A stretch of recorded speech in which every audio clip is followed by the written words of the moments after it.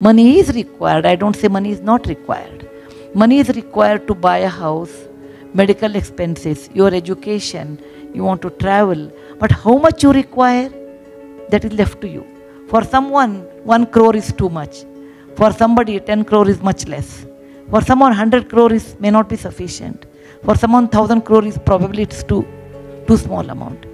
How much you require and how much you should own, how much you should keep, and what is excess is everybody's answer is different. So I will never say money is not important.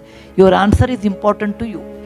And that's the reason I tell everyone how much you want. I'm not sitting here and telling you 20,000 is enough, 2 lakhs is enough, 20 crore is enough. No, I don't have any right.